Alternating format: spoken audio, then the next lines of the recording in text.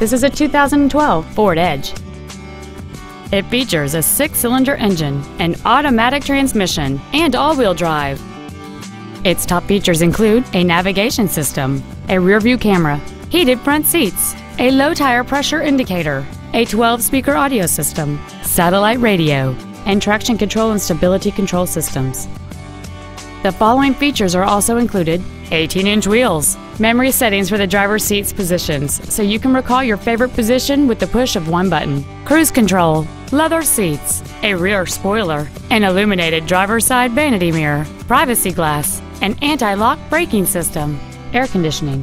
And this vehicle has fewer than 20,000 miles on the odometer. This automobile won't last long at this price. Call and arrange a test drive now.